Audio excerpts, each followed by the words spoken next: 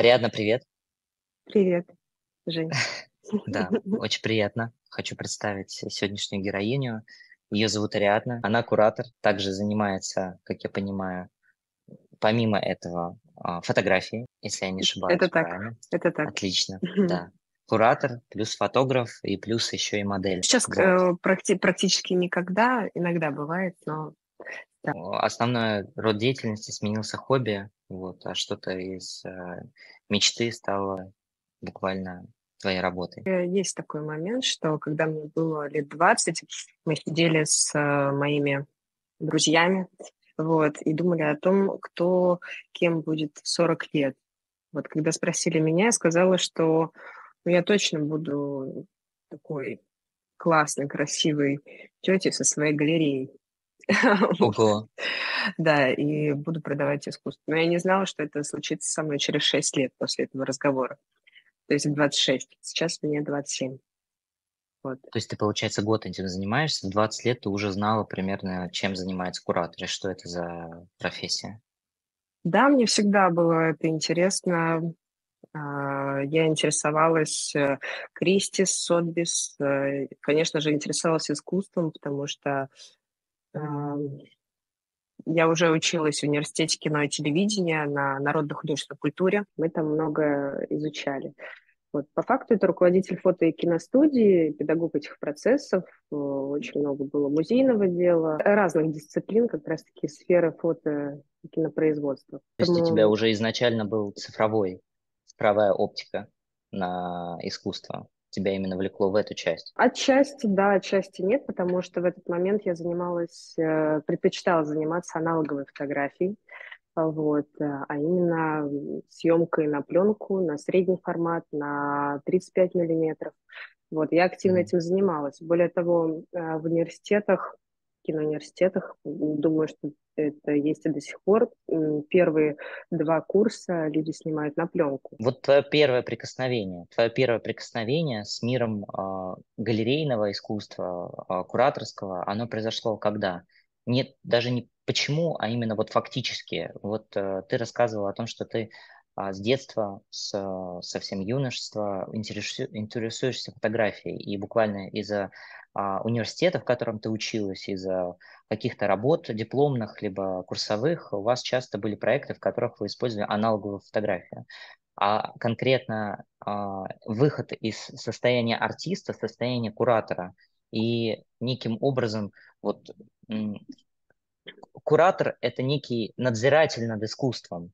Ну, изначально, как э, смысл этого, когда он зародился, это человек, который как бы смотрит за архивами. Ну, то есть надзиратель над галереей, над пространством, либо надзиратель э, в, в хорошем смысле, наверное, а, над художником, то есть э, человек, который его мотивирует, э, организует, менеджерит, продает, э, руководит процессами, связанными с искусством.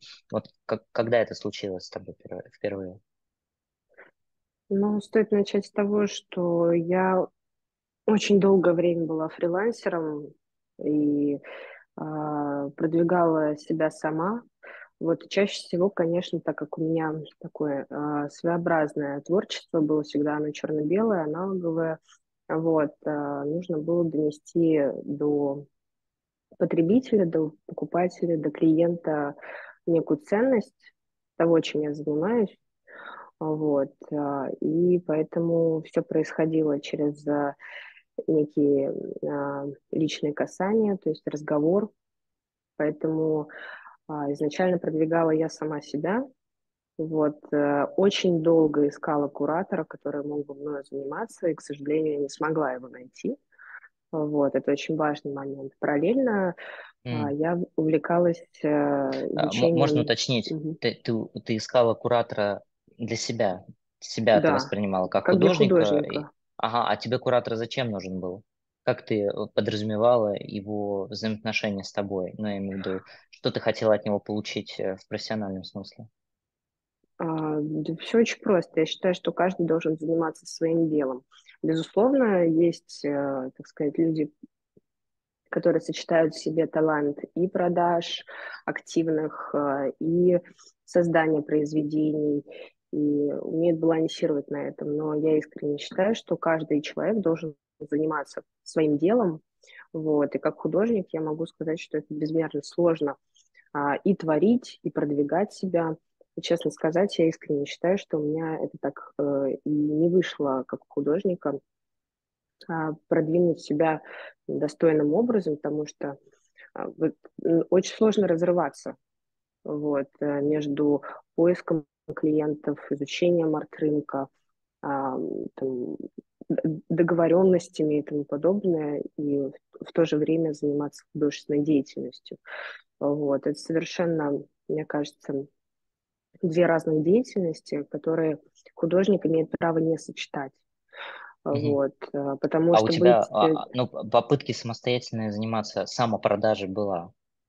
Конечно. Ты сделал это ну, вывод на основании твоего не очень удачного опыта, как я понимаю. Ну, ну почему неудачно? Я была достаточно сытым художником, вполне себе То удачного. Но ты, ты продавала э... свою услугу фотографа, либо у тебя удало, удавалось продавать прямо свои фотографии, цифровые э, полотна?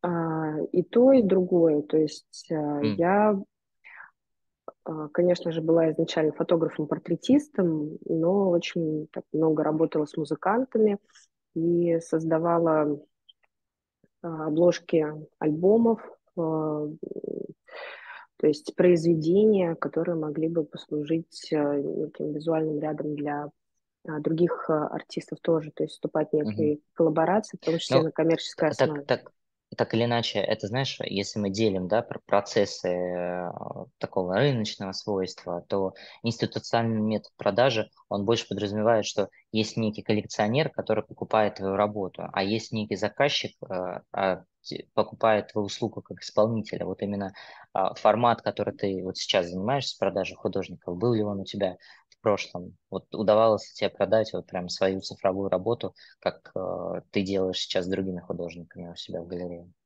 Нет, нет, до этого я как раз-таки не дошла, хотя мне очень, mm. конечно, хотелось. Но нужно еще а, принять тот факт, что а, фотография это одна из самых таких девальвированных а, сфер э, жанров искусства. А, вот, это одна из самых девальвированных сфер по одной простой причине, а, что есть такое поверье, якобы, что там вот это вот э, сфотографировать, написать, вот это вот да. И как следствие безмерно мало галерей занимаются конкретно фотографией. Галереи, которые занимаются концептуальным искусством и представляют э, какие-то иные формы его, их, их гораздо больше. А галерей, связанных с фотографией, понимающих, что это такое и что с этим делать, их практически нет. Угу. Вот. То, ну, сейчас, конечно, одним из самых девальвированных искусств является э, искусств, жанров, э, инструментов является генеративная графика, вот, потому что теперь ко мне приходят в галерею и говорят, что а, ну вот сгенерировать так, а вот ну, сфотографировать это вот ну, уже что-то. Примерно те, те, те же вещи мы можем услышать от э, людей с э, меньшим количеством насмотренности, ходящих э, в музей, русский музей, например, и видящий авангард русских художников там 20 да, века, конечно. которые комментируют примерно похожим образом, что мой сын, моя дочь нарисуют лучше. И здесь да, да, да. появилась новая форма иронизация над фотографией. Да, здесь интересная тема, на самом деле, девальвация искусства, потому что мне так показалось, что а, с а, во все, повсеместным внедрением генеративных инструментов креативных а, в мир и доступом, то есть э, горлышко а, стало расширяться, то есть оно было очень узкое, сейчас доступ так называемых джу, э, джунов, то есть людей, которые раньше, раньше приходилось достаточно сложные интерфейсы использовать, а сейчас можно на телефоне тремя кнопками что-то получить, они поняли, что фотография обладает э, той ценностью меньше, потому что они могут сделать то же самое. Но мне так кажется, что фотография аналоговая, та, что получена неким, не, даже не цифровым методом, да, а пленочным методом, вот ее ценность как раз в этом мире растет одновременно с тем, что э, нейросети на самом деле здесь влияние свое оказывает, в том числе очень э, сбалансированное, потому что где-то отпадает, это вот как э, история про то, что если у кого-то прибыло, у кого-то убыло, вот здесь вот прибывает потому что по, моим ощущениям наличие вот этой вот штуковины, которая фотографирует на пленку, она стала более интересной для меня вот именно в этом мире, вот в, этот последний год. Это даже не частное мое восприятие, я это наблюдаю повсеместно, потому что процесс изготовления пленки, получения фотографии, процесс времени, который тратится, это ценность каждой фотографии, потому что это дорого, потому что это опыт и experience, э, получение того, что ты ждешь и что же там будет. И э, это, эта смена, она на самом деле как про книги, про, про театр, про кино, то есть кино точно так же театр не заменило. И здесь, э, как ты думаешь, а, может ли происходить такие тенденции на рынке?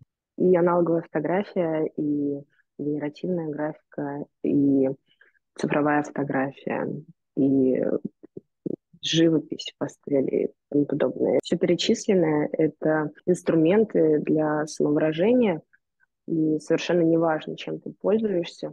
Например, ко мне очень часто приходят в галерею и говорят, «Э, вот, посмотрите мои отпечатки, я хочу за них там 500 долларов. А там вот откровенная шляпа. Вот, и я говорю, ну, это, к сожалению, столько не стоит. Мне начинают объяснять, ну, это же аналоговая фотография, а вот а это напечатано на такой бумаге, которой больше в России нет и не будет, и вообще в мире нет, мол, ограничен э, тираж. И на это я просто отвечаю, что мы продаем произведение, мы не продаем бумагу. Э, вот, поэтому мне абсолютно все равно как куратору, на метод получения э, некой концепции визуальной. Самое главное, чтобы а, произведение сложилось, чтобы оно было интересным, чтобы была выражена мысль в убедительной форме. Ты говоришь слово «шляпа», а интерпретирую в виде там, творческие работы людей, которые там делятся, да, они говорят, что там некая бумага, там какой-то очень интересный производительный метод.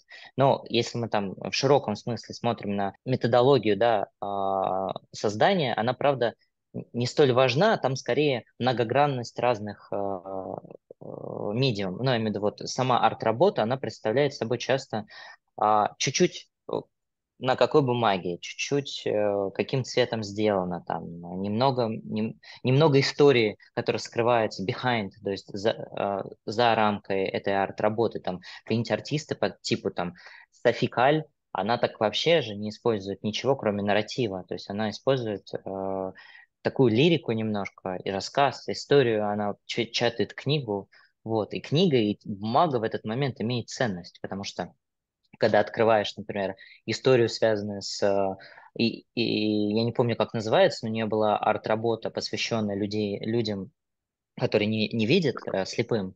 И там а, Брейгелем было написано, перелистываешь, там бумага, она особое свойство. И вот эта арт-работа, она пусть и сделана, ну, я имею в виду, эта книга сделана в, в, в, экземпляром, сильно превышающим э, там 10-15 единиц, так или иначе, это уже про процесс творческий. Вот она перенесла это в бук, и он превратился в коллекционный предмет. И ценность этой книги сейчас очень высокая, потому что больше таких не выпускается.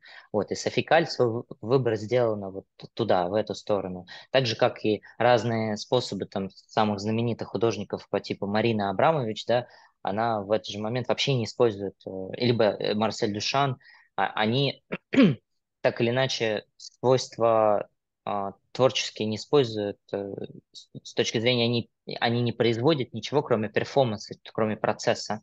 Вот они продают этот самый процесс, то есть там девальвация вообще любых других элементов происходит. Вот. А вот твой личный взгляд, это твой же кураторский взгляд, то есть он такой очень персонализированный, это такой диктаторский взгляд на искусство, то есть то, что тебе нравится, то, что тебе подходит, вот оно не шляпа, а вот что не нравится, можешь ли ты допустить для себя, что, например, работа художника, которую он принес, и вот эта бумага и качество этой бумаги, вот она сыграет свою роль, и, возможно, ну, может быть, не пожалеешь, но так или иначе произойдет такое, что он все-таки найдет ту галерею, которая его экспозирует, и его получится продать э, сильно дороже, чем ты предполагала. Либо ты руководствуешься, по твоим ощущениям, каким-то более широким э, объемом, э, ну, твой кураторский взгляд, он соответствует некой европейской практике. Ну, то есть он такой э, средний, то есть ты, ты можешь вот эту вот температуру по больнице э, чувствовать и мерить, как это делает любой другой куратор. То есть у, у тебя есть ощущение, что ты соответствуешь некой э, общей модели кураторского, кураторской оптики на искусство? Ну, смотри, конечно, могу сказать однозначно, что у каждого куратора есть свой вкус, свой интерес, свои предпочтения. Надо сказать, что в нашей галерее я стараюсь балансировать между тем, что а, мне нравится, мне не нравится, что я понимаю, что я не понимаю.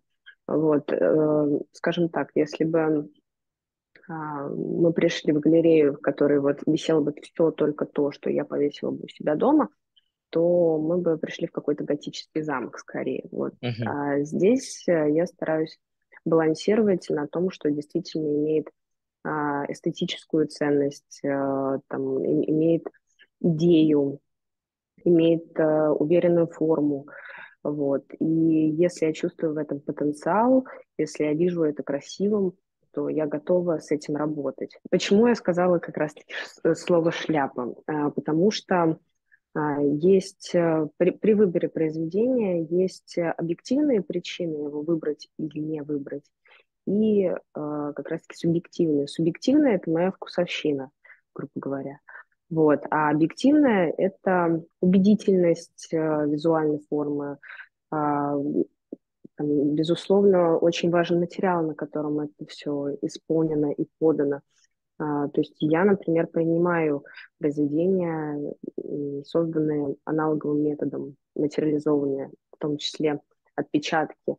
А, в галерее Новой Голландии представлены отпечатки водно-масляной печати, достаточно интересная технология. Вот. Другое дело, когда художник э, делает упор на а, инструменте, да, и действительно пытается продать мне бумагу, вот, хотя само произведение, а, сама мысль для меня не видится четкой, конкретной, интересной. Вот. Э, мне кажется, что Э, скорее всего, он ее принес, потому что она ему дорогая больше из каких-то субъективных причин, или просто потому что а, она напечатала на редкой бумаге, а, там, протестировав ее когда-то, но а, сама, скажем так, не верит в эту работу. У нас был диалог с одной художницей, она принесла мне отпечатки аналоговые, вот, и говорит, что я их оцениваю в 500 долларов. Вот, э, я говорю, что ну, они для меня, по, как, по моему опыту, столько не стоят. А, она мне начала говорить про бумагу, что такой в России нет, и подобное. И вот я там в американской галерее продаю свои отпечатки там, от 350 до 500 долларов. Ну, я ей сразу сказала, что арт-рынок в каждой стране, он разный. Вот, э, ценность, как следствие, тоже у нас арт-рынок совершенно принципиально иным образом устроен. Тут интересно, на самом деле, если ты, мы потом вернемся как раз к продолжению этой темы, угу. как по-твоему, и чем он отличается от э, того, что происходит на европейском арт-рынке, либо американском? В чем вот эти ключевые различия э, российской специфики? Воспитание, э, в том числе массового зрителя, потому что а, я не наблюдаю эм, активного интереса к, у, у публики к приобретению произведений а, различных художников, ремесленников и тому подобное. То есть uh-huh. это до сих пор кажется не основой бытия, а неким досугом. А, вот, э, там, прийти в музей, это скорее не образовать себя, а там, провести выходной uh-huh. или же сходить на свидание. Вот здесь вот принципиально другой подход. Uh-huh. Вот. И этот подход распространяется на все. И, конечно, в Советском Союзе а, стреми... было стремление к одинаковости бытия, к тому, чтобы все были равны, вот, а, не было никаких а, излишеств, не было какой-то такой свободы мысли, то есть э, все должно быть как у всех. Вот, и, да, да, да. то есть э, и как следствие если мы говорим про искусство, а это всегда некий тираж, это всегда некое такое ограничение, а, всегда некая лимитированность. Э, в случае художников, так это вообще один из одного. Конечно, если это какие-нибудь прибрежные художники, они очень часто а, напишут а, одну картину, и после того, как продадут ее, напишут такой же дубликат. Это тоже нельзя этого исключать. Но так или иначе, все равно чувствую некие проблемы э, с уверенностью и даже желанием, потому что у каждого желания должен быть какой-то мотив, такой вот спусковой крючок, почему вот я должен приобретать какие-то произведения. А, вот, э, то есть люди не, ну как, э, не считают необходимым, что ли, это действительно а, не является какой-то прям жизненной необходимостью купить э, эту картину, а, тем более это напрямую зависит от уровня жизни человека. Э, конечно же, всегда покупка искусства и творчества э, – это покупка, совершенная по любви, то есть есть некое безмерное желание приобрести вещь, которая по факту она не не даст тебе еды или воды или еще чего-то, она просто сделает твою жизнь чуть красивее. А, здесь вот. я, на, на, на, возможно, мы говорим о реалиях российского рынка, и там эмоциональные покупки, возможно, ну, занимают более а, весомую позицию, но на Западе, вот на этом такой абстрактном Западе, который у нас любят так называть, там ценность покупки часто связана с э, арт-адвайсерами, которые советуют как акцию приобрести работы неких художников, чья ценность работ потом взлетит, а потом можно сделать вторичную продажу. Ну, наличие, на, на, наличие сертификатов, э, а, базы, в которой находится художник, э, его портфолио, его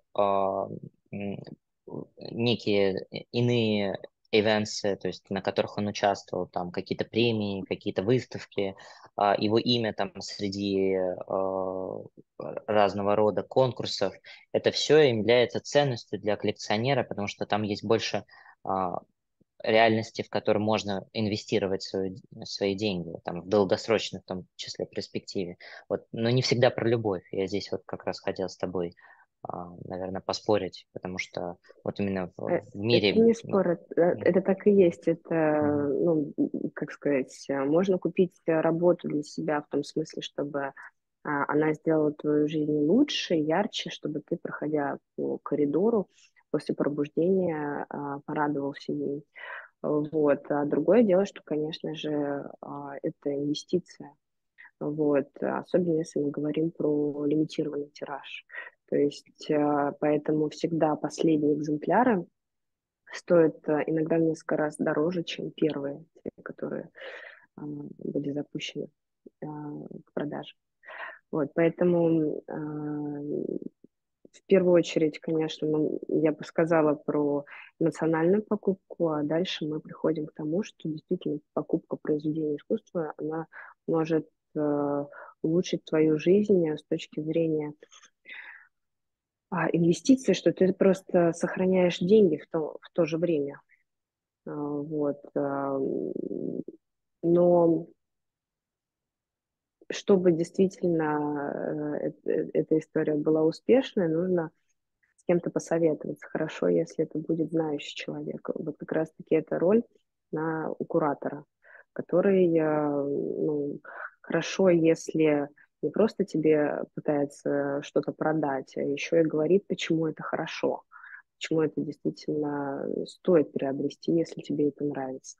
А, допустим, изучая а, мировую практику, мировой арт-рынок, мы приходим к тому, что а, у куратора, у арт-дилера настолько большая и высокая ну, как э, его ценность и настолько крепко, э, крепкая его репутация, что люди покупают у него произведения даже до тех пор, пока их увидели в реальной жизни.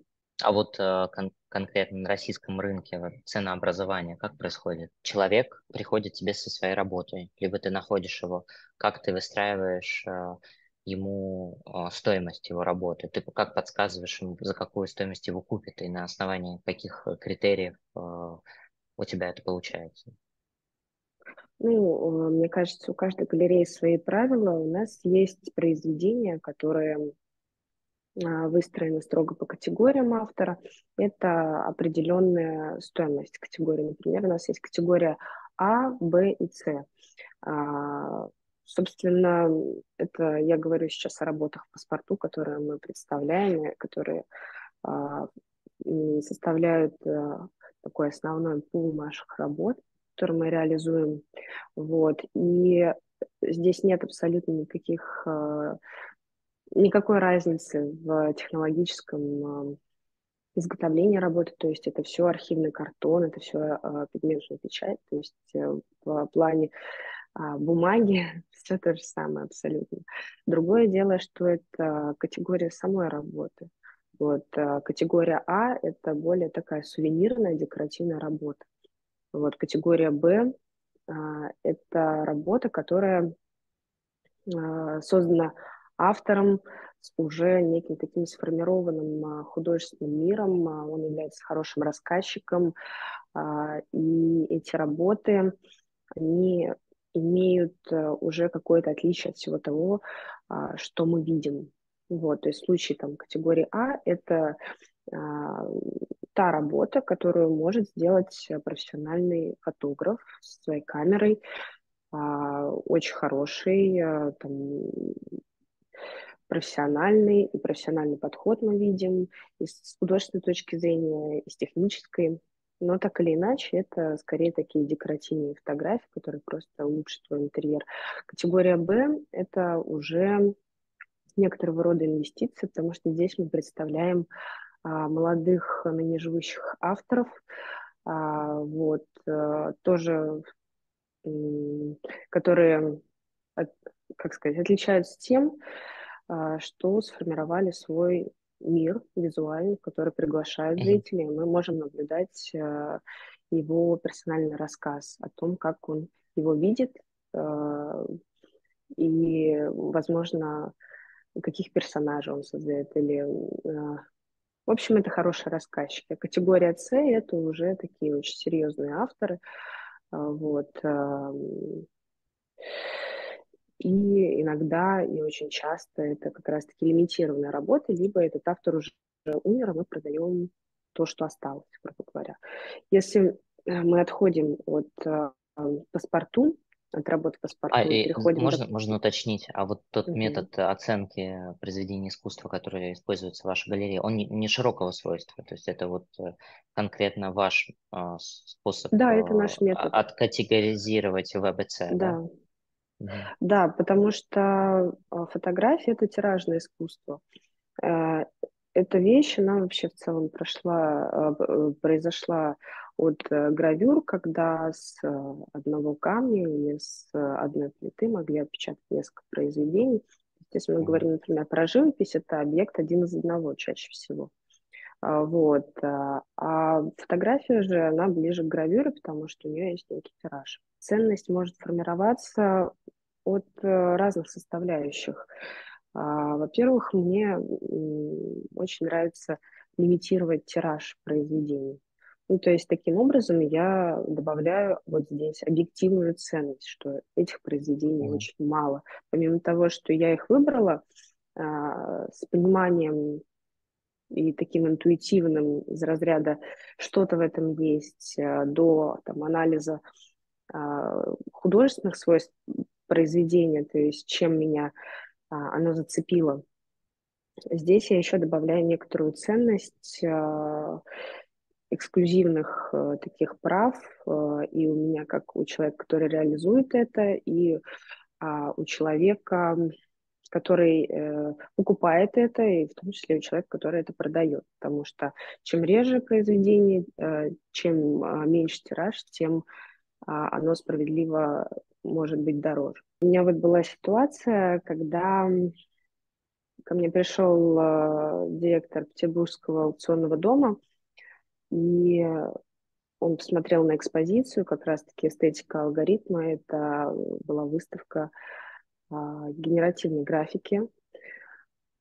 И он пришел и сказал, что для российского рынка та стоимость, которую мы обозначили для каждой работы, это чуть ли не золотое сечение, и она лучше. Но, допустим, в контексте, если бы мы представляли эту серию на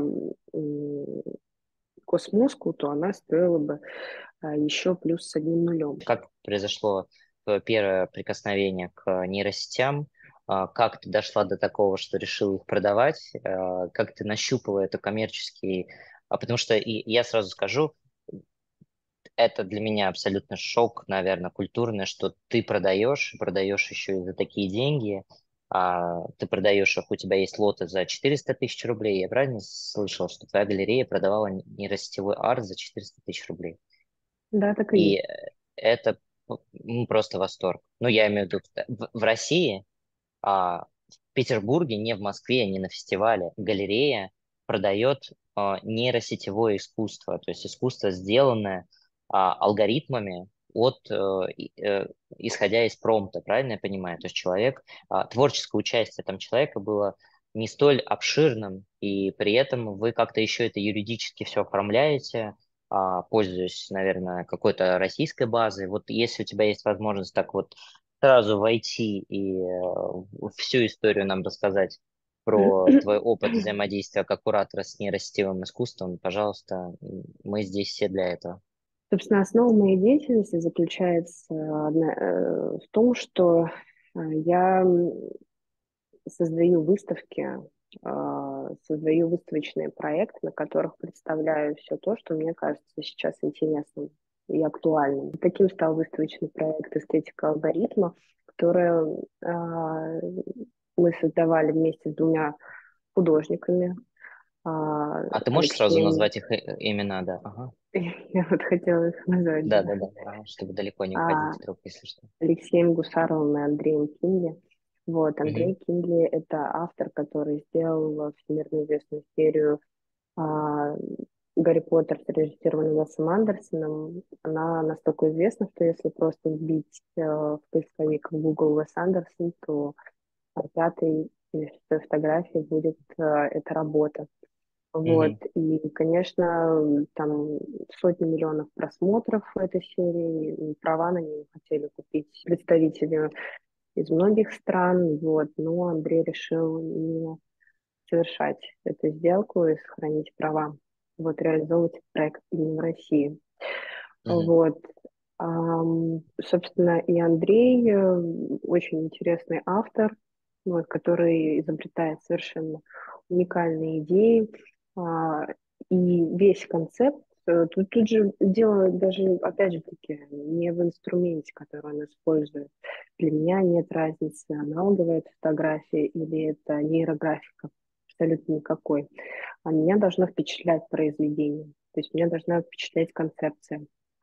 Если она интересная, то а, я готова этим заниматься. Почему именно нейрографика? Потому что нейросети активно а, интегрировались в фотографическую среду. Очень многие фотографы используют этот инструмент, а, вот, э, в том числе в коммерческой сфере, изменяя фон, а, добавляя текстуры и тому подобное. То есть создавая что-то, так сказать, э, нереальное, которое может выглядеть вполне себе реальной и интегрирует эту фотографию. А вот. И тут уже, конечно, говорить э, о процентовке этого реального и нереального как-то было бы странно, я думаю. Вот, э, если от, допустим, образа осталось только лицо. Поэтому мною было принято решение достаточно быстро заниматься, в том числе и а, нейрохудожниками, потому что, а, с одной стороны, искусственный интеллект, э, он может быть прекрасным инструментом и возможностью для того, чтобы расширить свои смыслы, свой, свой, свой какой-то а, подход к реализации своих идей, своих концепций. А с другой стороны, это может быть большой опасностью для фотографической среды. Опасностью может быть именно для тех авторов, которые покупают себе дорогую камеру и думают, что она все за них сделает. Вот. А, он выстроит автоматически экспозицию, автоматическую, абсолютно все. А, вот, и в таком случае все равно эта часть фотографа, которая занимается фотографией, она полагается на машину, тут в другом роде. Вот, а, притом, а, создавая ту или иную фотографию, концепции в ней абсолютно нет. То есть они фотографирует то, что видит. То же самое, что маленький ребенок, который идет э, по улице и читает абсолютно все вывески. Mm. Поэтому для меня, для меня самое главное, чтобы а, у автора была концепция, с которой а, он умеет работать, э, которую он оформил внятным образом, интересным, впечатляющим, и какой инструмент он для этого использовал, конкретно в этом случае с э, эстетикой, а, как ты сказала, генеративной эстетика алгоритма. Эстетика, эстетика алгоритма, алгоритма, да. Эстетика алгоритма – это э, выставка, если вот э, кураторским языком про нее рассказать, о двух художниках, которые сделали экспозицию арт-работ, которые набрали очень большую популярность и влияние в социальных сетях. То есть их э, там суммарный объем просмотров превышает там какие-то ну, сумасшедшие цифры. То есть там сотни миллионов человек а, увидела там а, аналогии, либо а, цитаты, а, похожести, а, схожести с фильмами там их детства, либо с той дейта, то есть они как-то отрефлектили то, что а, показывают в кино, то, что они видели по телевизору, то есть есть э, очень сильный почерк режиссерский, да, вот там Уэса Андерсона, и он там а, в своем этом почерке несет свет, э, какой-то экшен, одежды, а, какой-то кадр определенный. И это было повторено. А, ты взяла это как некий экземпляр творческий, его продала, продала достаточно успешно. Ты говоришь, два художника, да, второй примерно то же самое делает, верно я понимаю?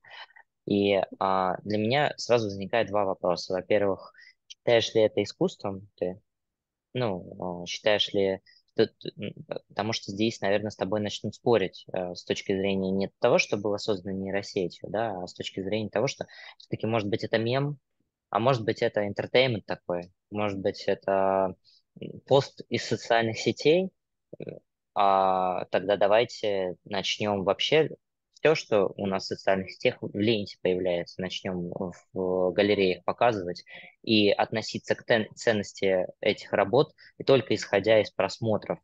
Вот. А второй вопрос – это не считаешь ли ты, что это было бы невозможно, во-первых, США продать? Во-первых, ну, да, давай тогда закроем вопрос, связанный с тем, что законодательство Соединенных Штатов э, и Европы, в том числе, потому что оно так или иначе копирует, либо косплеит э, юридическую базу США, заявляет о том, что все, что создано нейросетями, с, э, там, где творческого участия человека, меньше там какого-то процента, но по, по статистике почти все а, дела на эту тему не дают никакого авторского права, то есть э, творческие произведения не принадлежат художнику, они принадлежат либо компании, а, с помощью которой произведено Midjourney, там Stable Diffusion, любой э, другой, другой инструмент. Вот, мы можем закрыть на этот. Э, скорее меня интересует вопрос а, авторского права, потому что он, получается, использует некий нарратив, да, визуальный, и пытается его интерпретировать, при этом все прекрасно все понимают. Наверное, а, экспертизы там какой-то серьезной не нужно, чтобы понять, что он использовал авторский стиль, его повторил, получил э, работу. Ну, это вот как... Э, можно ли такое представить, например, э, в фильме? Ну, я имею в виду, создать кино, полностью повторить э, метод Уэса Андерсона, снять то же самое и э, попытаться э, с продажи билетов на этот фильм Э, ну, там, осуществить это на территории Соединенных Штатов, например. Мне кажется, это невозможно. Может быть, ты со мной поспоришь. Точно так же вот э, касательно этого арта. Может ли такое случиться, что а, в, в каком-нибудь там среднесрочном будущем а, коллекционер, который приобрел эту работу, столкнется с проблемой, что вторично он уже продать это не сможет. Точно так же, потому что будет проблема вот э, юридического права, которое не позволит ему это осуществить.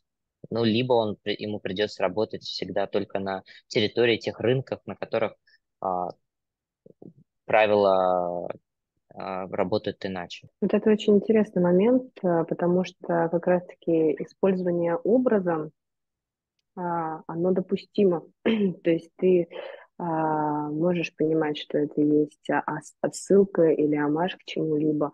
Например, Прости, художник... прости, перебью. Угу. Я очень прошу прощения.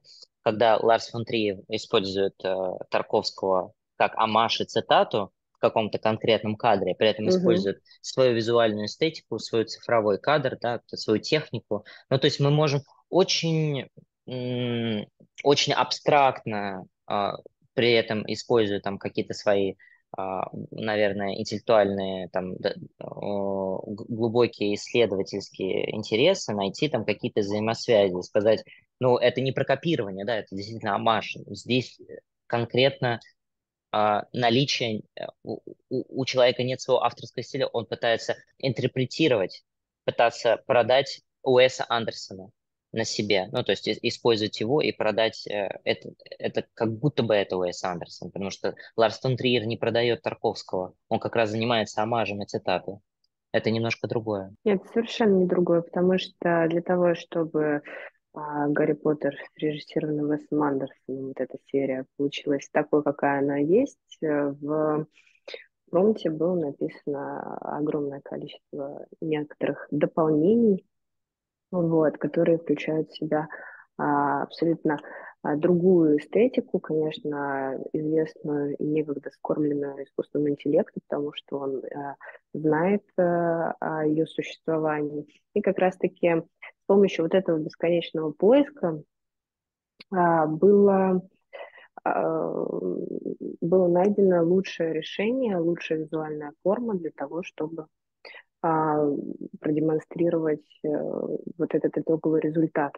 То есть эм, там на самом деле для того, чтобы авторы были одеты вот именно так, настолько стильно, то было упомянуто, чтобы там, герои были одеты в Гуччи, вот, хотя это никак не связано ни с Гарри Поттером, ни с Уэсом Андерсоном, то есть это вообще уже третья сторона медали. То есть и чем мне нравится генеративная графика, так это конкретикой, вот, которая не наблюдается в, в большинстве а, работ, э, которые, людей, которые занимаются просто по факту некой арт-терапии, пусть даже приятной э, глазу.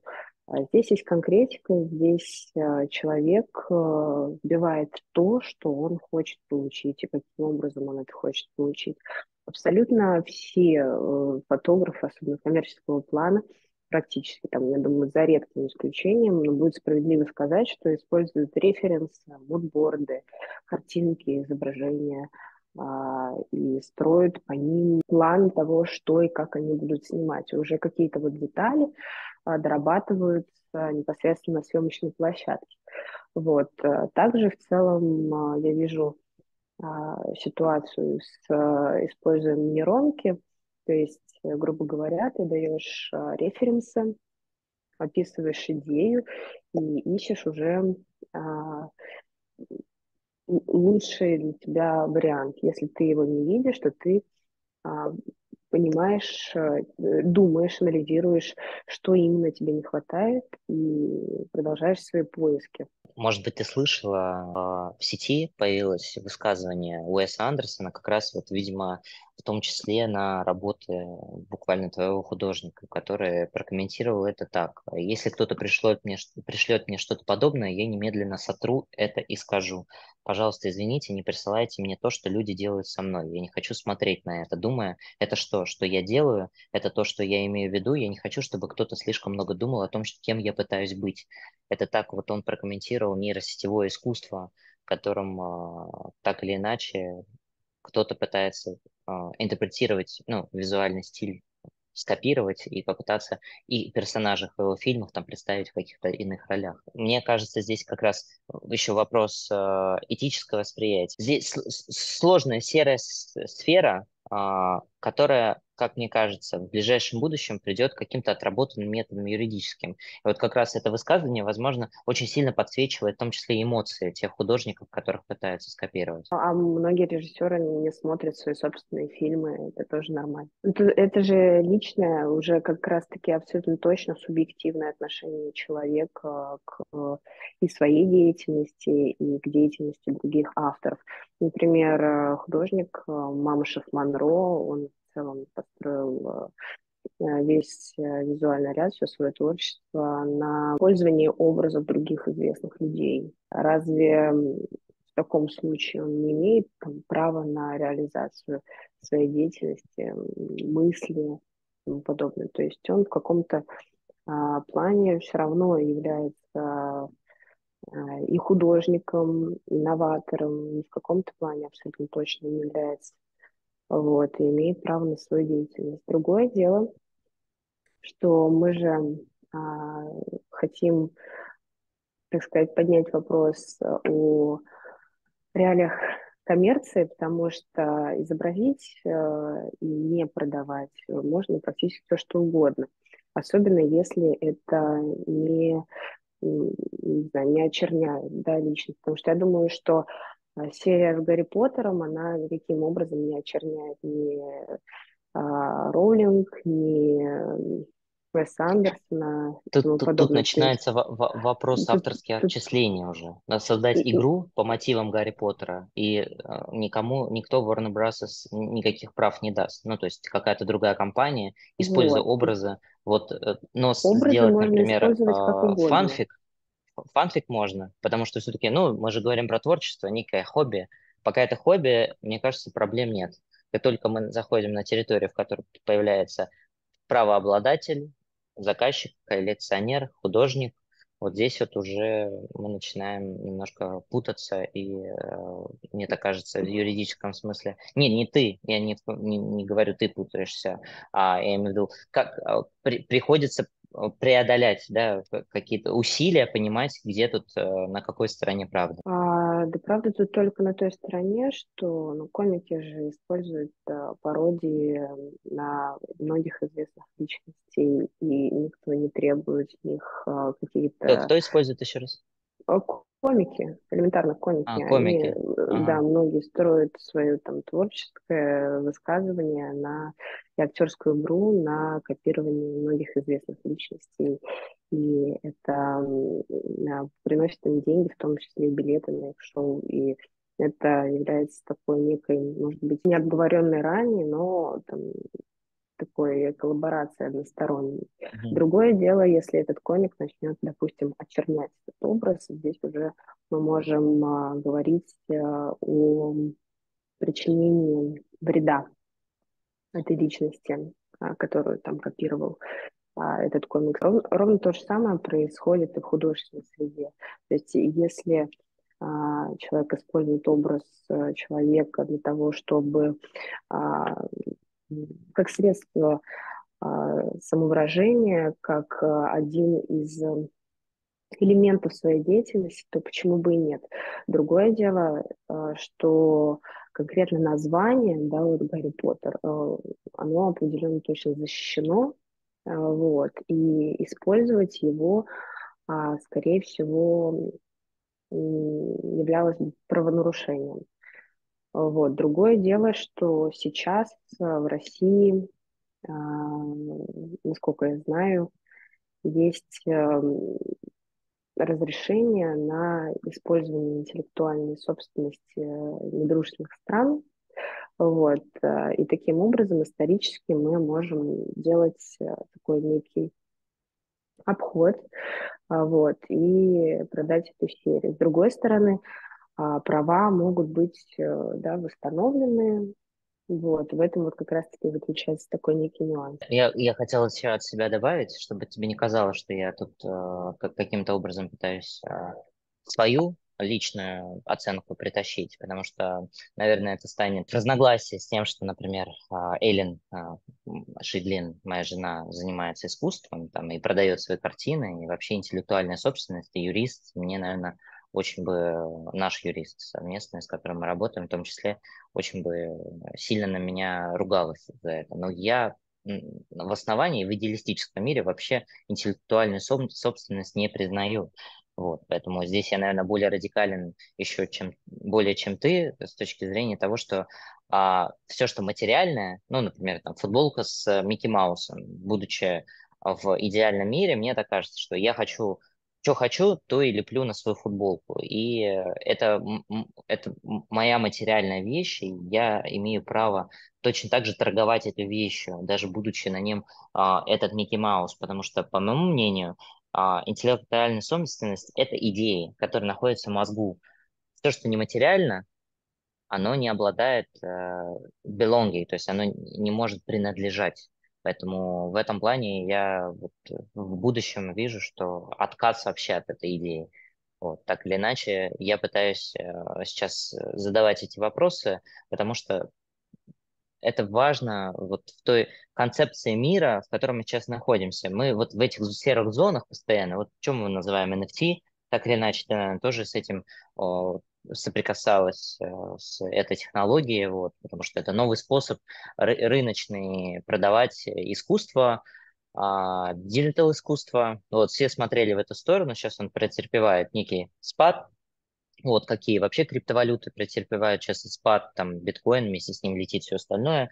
вот на этих горочках мы сейчас находимся, потому что рынок крепнет, э, у него появляются новые э, методологии юридические, там, законодательные способы там, взаимоотношений между там, аукционными домами, галереями, которые это все продают. Все больше кейсов появляется, тем самым появляется сфера, field, да, зона вот такие ответственности какие-то. Точно так же и с нейросетями. Сейчас мы уже кажется, что это слово немножко такое потеряло свою первоначальную ценность. Это уже больше не про технологии, не про будущее.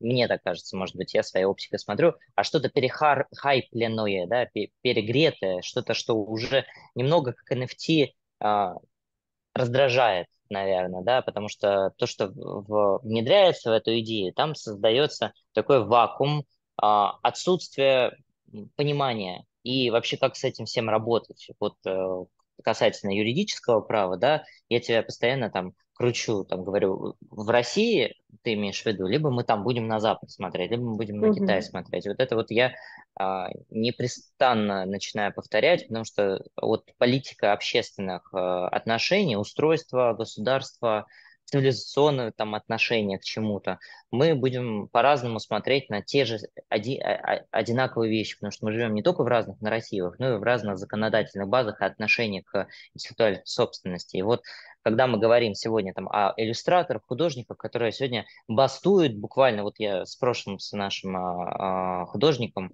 а, об этом говорил, Антоном, и мы обсуждали э, критику арт-сообщества в отношении нейросетей. У тебя очень такой взгляд на это все максимально френдли, э, то есть ты допускаешь, ты играешь с этим, ты продаешь это, ты э, в этих вот взаимоотношениях как бы так немножко э, открещиваешься от э, так или иначе от вот, вот этих вот юридических проблем, которые на Западе происходят, так или иначе, в России по-другому. Все-таки у нас как- как-то привыкло это все самостоятельно появляться, работать, пока государство туда не придет. Вот пока государства там нету, и слава богу, вот, потому что будет хуже в тот момент, когда оно там появля... появится. Также и с художниками. То есть э, любой там а, фотограф, приходящий к тебе в галерею, видя на стенах нейросетевое искусство в, в комплекции других фоторабот, он подумает,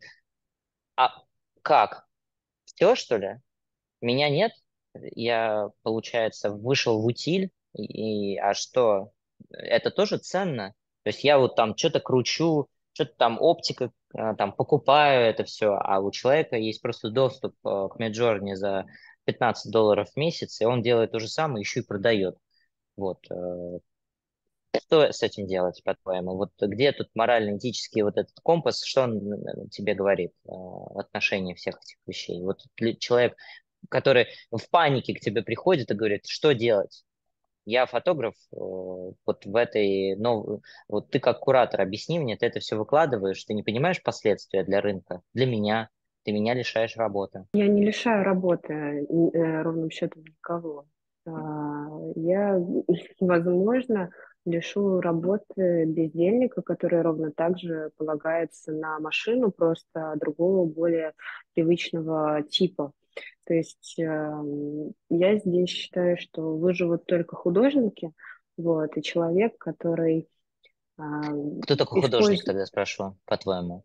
А, в, в этом э, это про метод, это про а, персоналей, это вот кто такой художник?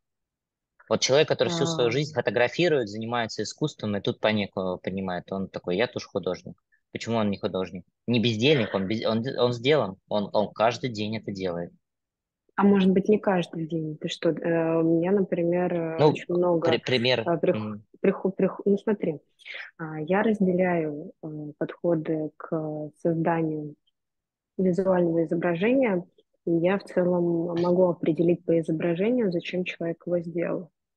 Может быть, это арт-терапия, которая а, является таким э, неким, некой разгрузкой самого автора, да, вот от своих каких-то негативных или наоборот э, суперсерьезных, там, позитивных идей, мыслей, настроений.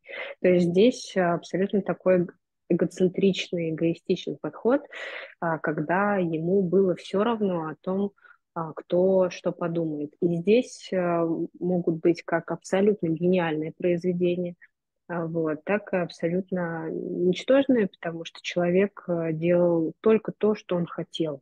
То есть э, это может быть и работа и в стол, и показать кому-то. То есть здесь такой как бы черный ящик. Вот. Другое дело ремесло. Ремесло – это протоптанный путь, он может быть тоже эстетически прекрасен, но здесь мы не видим ничего нового. А, вот, а, потому что Э, ремесло – это уже известный протоптанный путь э, к созданию качественного изображения. То есть очень многие там фотографы-пейзажисты, а, они знают, что надо там приехать э, до рассвета, они знают, какая диафрагма им нужна, там, какая камера, какой объектив и тому подобное. И по всем этим устройствам, по всем этим параметрам создают действительно хорошее изображение. Вот, э, ровно так же, как э, художники, которые выходят э, из многих университетов художественных, они пишут портреты по тем технологиям, которым их обучили там. То есть, но, скажем так, есть и творчество, когда человек в это вмешивает некий уже свой уникальный подход – который он ищет, э, который он микширует э, э, посредством и поиска, и анализа там новых уже известных форм и создает очень интересную эклектику. И вот это тут как раз-таки надо отличать. Творчество, ремесло и арт-терапию. И там, и там, mm-hmm. и там можно найти интересные вещи. Другое дело, что а, Конечно, каждому хотелось бы считать себя гением, достойным того, чтобы, а, скажем, прийти в галерею и там продавали его работы, но очень часто ко мне приходят люди, которые просто погуляли один раз по улице с хорошей камерой, сфотографировали голубя и приносят мне его и говорят, «А, я могу стать вашим резидентом. А, вот. А это как раз-таки а, картинка, которую может действительно создать абсолютно любой человек. То есть мы здесь не видим ни профессионала своего дела, ни художника. Вот. Здесь мы видим а, абсолютно такую бытовую историю, абсолютно типичную, которая ничем не выделяется. И вот здесь вот как раз-таки я сразу говорю, что я ничем помочь не могу. Очень корректно, что я не могу, э, я здесь ничего не вижу, я не знаю, как это продать, кому это нужно будет. Вот, это достаточно рядовое изображение. Я выделяю художника, а, который мне интересен, а, и с точки зрения там, профессионализма и то, насколько глубоко он погрузился в свою деятельность, вне зависимости от инструмента. Это тоже очень важно. А, то есть, э, как говорится, нужно знать правила, а, чтобы классно их нарушать. Вот. И как художника я оцениваю, потому что а, меня откровенно изображение должно некоторого рода удивить. Вот. Возможно, я найду некие отсылки а, в этом изображении к чему-либо, а возможно, их и не найду. Так вот, моя насмотренность, она позволяет мне определить а, своего рода уникальность данного произведения. Мне нравится искусственный интеллект э, как инструмент э, тем, что для того, чтобы добиться внятного, интересного результата, человек должен, с одной стороны, быть конкретным, а с, друг, с другой стороны находиться в том же поиске. Вот, и менять э, те составляющие, посредством которых он хочет э, и может э, создать э, это произведение. В случае многих фотографов у них все просто. Они получили изображение, сфотографировав, и несут его без какого-либо анализа в галерее. Вот для таких авторов как раз-таки искусственный интеллект представляет очень большую опасность. Ну, конечно, после выставки искусственного интеллекта мне начали писать разные нейрохудожники и говорить, что посмотрите мои работы. И я скажу сразу, что, а, безусловно, у авторов, э, которые используют искусственный интеллект в качестве средства своего самовыражения, у них есть некая флора, потому что там не нужно эм, изучать экспозицию, а, там, оптику и тому подобное, которые, э, чем, кстати, занимаются далеко не каждый фотограф, надо справедливости ради это тоже сказать. А, вот, а, то есть э, они... Но сло, могут... сломанность, э, сломанность это вот как раз про свой какой-то персональный метод, когда ты не академи, а, академистским методом пытаешься познавать мир и как-то его интерпретировать, рефлексия через а, камеру, например, а как, каким-то иным способом, более абстрактным, часто авангардным, это вот более привлекательно, мне кажется, чаще. Вот, вот этот индивидуальный какой-то сломанный кадр. Да, у, все, у, все, у, все, у всех абсолютно свой путь э, и свои поиски, свои интересы. Вот, mm-hmm. потому что а, каждый э, там, занимается тем, чем он хочет заниматься. Я порядка 10 лет э, занималась пленочной фотографией.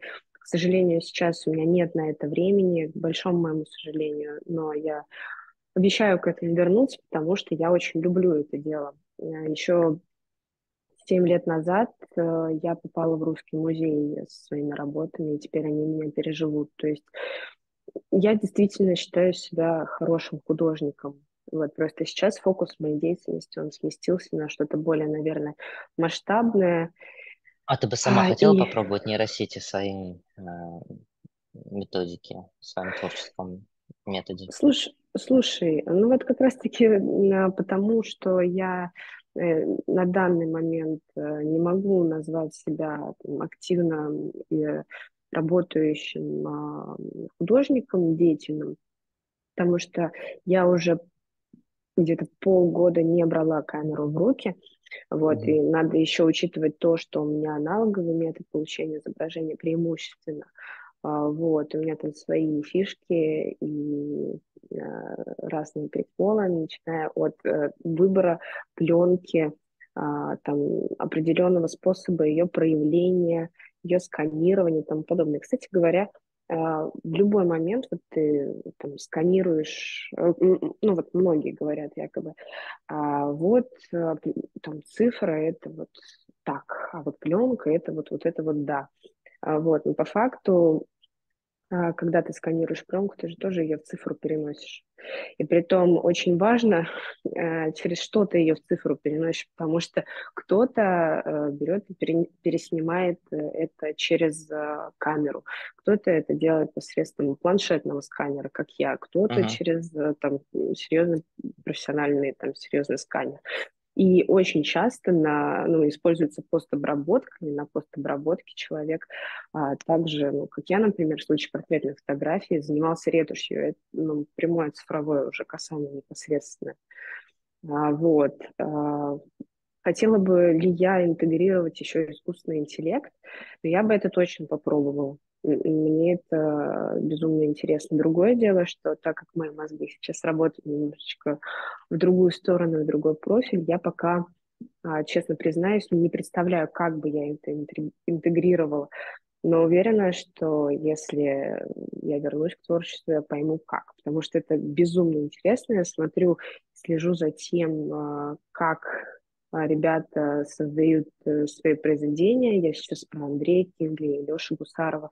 То есть а, они прописывают даже такие моменты, как широкий угол, какую камеру использовать. То есть прям прописывают Хасельблад 500 и тому подобное. Ну, то есть это уже а, более серьезная конкретика, чем большинства фотографов, к сожалению, которым вообще все равно. Я от себя, опять же, вступлю, потому что так или иначе промпт, он, а, это способ а, взаимодействия с нейросетями, да, человеческие, у него есть там свои правила, новые методы написания промпта уже работают. Это вот то, что агенты, так называемый чат GPT, а, которые научены на этих промптах, ты можешь вписать скорее интерпретацию примерно, ну, то есть не, не уточняя, он там сам за тебя все напишет. И, и оптику, и камеру, и свет, и как, как до детали, там, какой угол, например, тени на лице mm-hmm. должен быть. И вот это все mm-hmm. впишется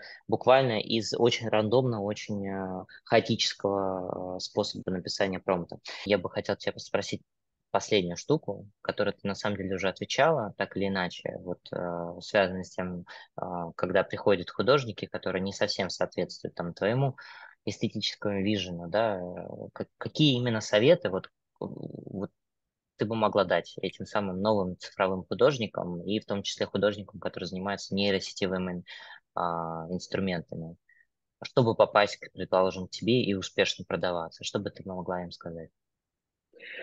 А, я бы хотела упомянуть э, снова а, тот факт, что а, каждый куратор, э, он анализирует эм, и объективно, и субъективно выбирает э, то, чем он хочет заниматься. Поэтому если я что-то, допустим, не взяла, это не значит, что это плохо. А, не значит то, что это не имеет права на существование. Дело в том, то, что существует еще там ряд других галерей, кураторов, которым это может быть действительно интересно, и они это прочувствуют и поймут, кому это нужно, кому это может быть нужно. А, кому они смогут это продать, кому они смогут это показать, потому что а, сейчас э, в эпоху информационного перенасыщения, мне кажется, что невозможно остаться без собственного зрителя. А, вот. А в случае, допустим, того, как попасть в галерею или как попасть к определенному куратору, во-первых, нужно пробовать и предлагать себя и свое творчество разным галеристам. Это абсолютно нормально. Но опять же таки, а, каждый автор должен анализировать, куда он идет. То есть а, у меня на двери написано «Галерея современной фотографии». И очень странно, а, когда, допустим, ко мне приходит вот, и предлагает мне развесить здесь картины. Я считаю это э, там, ни в коем случае не за оскорблением, но за игнорированием, просто, можно сказать, некой предупредительной таблички вот, того, чем мы занимаемся угу. здесь. Какого профиля мы... ваш Да, да, да. Да, и поэтому, если ты приходишь в галерею и видишь, э, что там только скульптуры, а, я думаю, что вряд ли тебе могут чем-то помочь, потому что кураторы, арт-дилеры данного места занимаются совершенно другим профилем. Но если ты спросишь, то а, никто абсолютно не кусается, все будут, а, может быть, не рады, но точно ответят, интересен ты этому месту или нет. Какие советы я могу дать начинающим художникам? А, мне бы хотелось посоветовать э, находиться почаще в поиске, в саморефлексии, в анализе. Очень важно задавать э, себе самому вопросы, что мне нравится, что меня триггерит, так сказать, а, на что я откликаюсь, потому что я уверена, что абсолютно любой автор сейчас сохраняет а, некие подборки. У меня, например, даже есть черно-белая фотография, цветная фотография, а, там потенциально хорошо для галерей. То есть очень часто я а, ищу авторов эм, заранее, которых я хотела бы представить. Но как художник я собираю некие подборки и потом анализирую, что же mm-hmm. мне понравилось в том или ином методе. А, вот. Э, и в плане цвета, и композиции, и воздействия психологического настроения. Вот. Э, воздействие, которое я а, которое оказала на меня та или иная работа. И таким образом а, каждый автор будет все ближе и ближе к себе и понимать, э, что именно чем именно он хочет заниматься, вот, э, и что он хочет создавать. Uh-huh. Потому что я, я искренне считаю, что хороший автор — это хороший рассказчик. У него должен быть свой мир, у него э, должен быть определенно э, некий круг его интересов, э, и пусть он даже разнообразный, но так или иначе он может все интегрировать в свое творчество. Вот. Uh-huh. И как раз-таки э, вот я говорю про некий поиск и сочетание и нахождение той самой убедительной эстетики, концепции, эклектики. Вот, поэтому искать и больше, больше работать – это самое важное. Без этого никуда. Класс. Спасибо, рядом. Было клево. И Спасибо, Жень. Супер полезно для меня особенно. Спасибо. Спасибо тебе. Так, да, пока-пока.